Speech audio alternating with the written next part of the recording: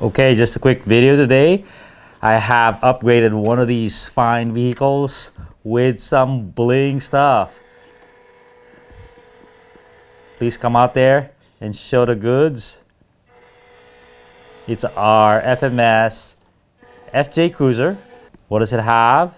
These fine wheels from SSD. And these wheels are not only cool, they're also functional as well.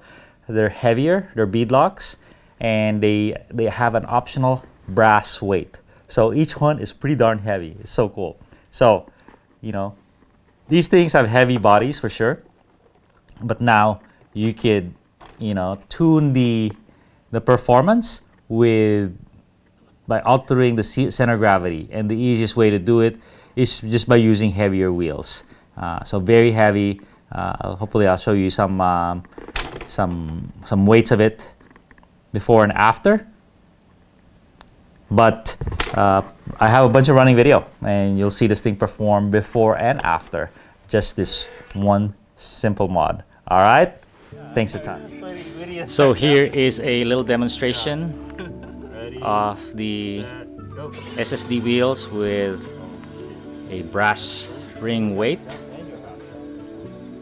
Just one mod before and after video. So we'll try to do the footage one after the other if it's the same section of rock. So we're descending here, we have a special guest. The red vehicle called the Rochobby.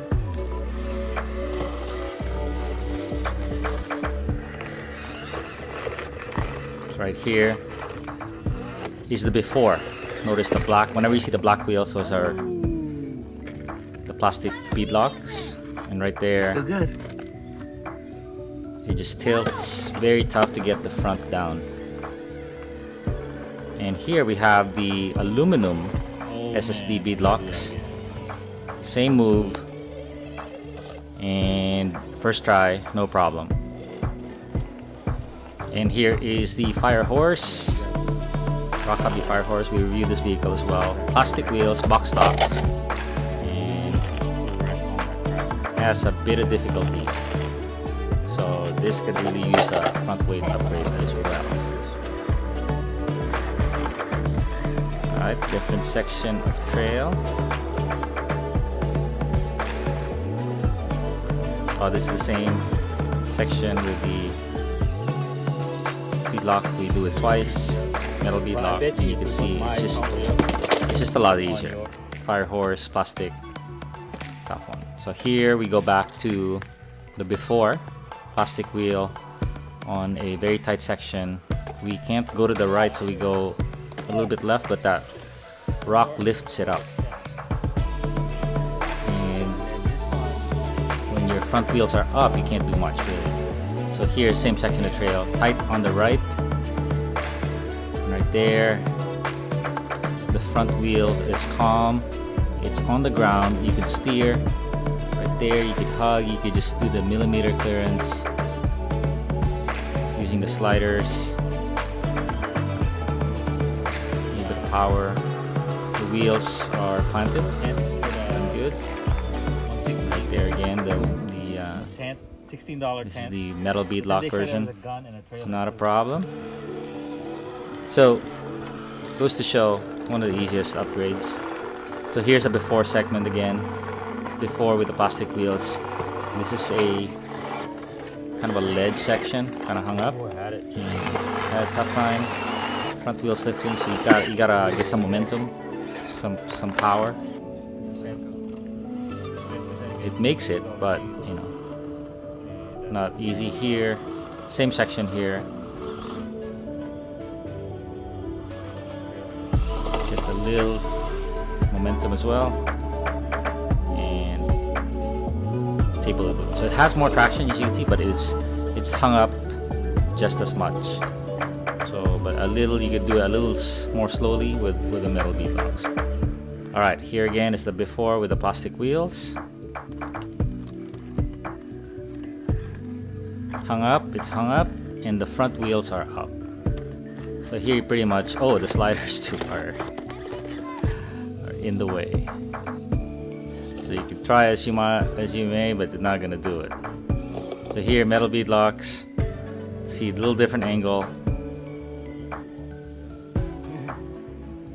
Front wheels are up. It's it's planted, but you can see the front wheels are up because the the middle is just just hung up. So nothing doing. Can't do it. Bead locks or not, it did not help. So here, what are we doing here? Some descending.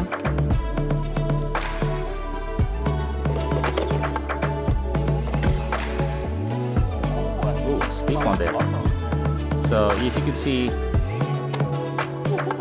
uh, descending is not as big a difference, but it's definitely more planted because the center of gravity is lower. And having that rear weight as well helps descending. That's that's where the rear weight really helps. It keeps that rear from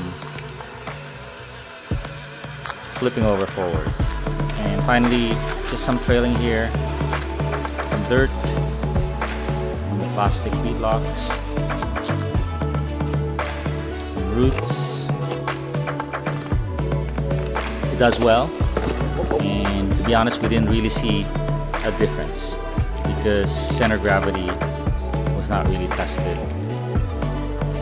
in this particular section. It had enough it had enough grip for all these sections. So it's really for the steep parts. So here's the metal bead locks.